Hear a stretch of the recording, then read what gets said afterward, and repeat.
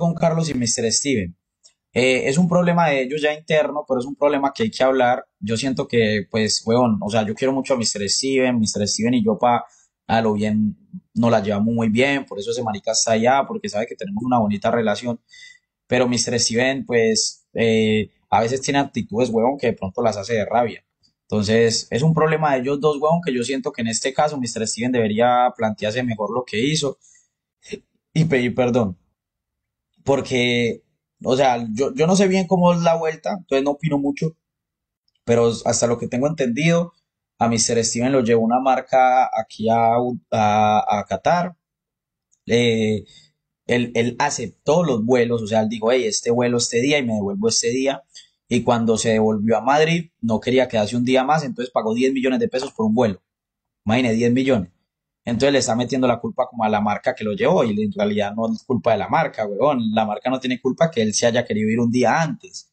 No es que no esté todo pago. O sea, el problema va relacionado como así, ¿me entiende? Es una decisión de él que ya está fuera de las manos de Carlos y de, de algo. Entonces yo digo, weón, eh, eso es para... Y ya después pone una historia como busco manager, yo creo que es algo que de pronto lo hizo en un impulso y es normal, perro. Uno, uno es humano, uno también tiene impulsos. Yo creo que lo, la derecha es. Hay que ver también qué es lo que piensa él en su mente, pero pues no sé, es lo que yo he entendido por encima. Yo tampoco estoy muy bien enterado.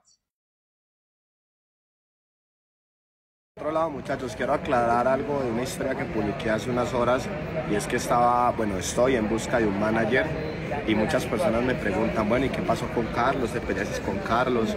Gente, la verdad es que con Carlos me he peleado, con Carlos no he tenido ningún problema, de hecho Carlos hace un muy buen trabajo como manager, sino que el problema es que, digamos, yo lo que necesito es una persona que esté pendiente de mí, que esté pendiente de mis tiempos, que esté pendiente de mis cosas.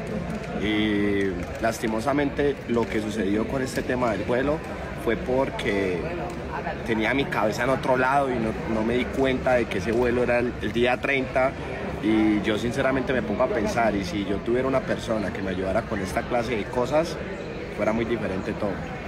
Entonces, quiero aclarar de que con Carlos no pasa nada, con Carlos yo sigo trabajando, sino que Carlos lo único que hace pues conmigo es conseguirme buenos contratos, llevarme a buenos eventos, que por cierto se lo agradezco Carlos, si estás viendo esta historia, te digo que muchas gracias pues por todos los contratos y eventos que me conseguís, pero lo que la gente no entiende es que yo necesito es a alguien, o sea, un tipo asistente que me ayude con este tipo de cosas y yo a, eso, yo a eso le digo un manager, o sea, yo la verdad es que necesito un manager, pero que me ayude en ese tipo de cosas.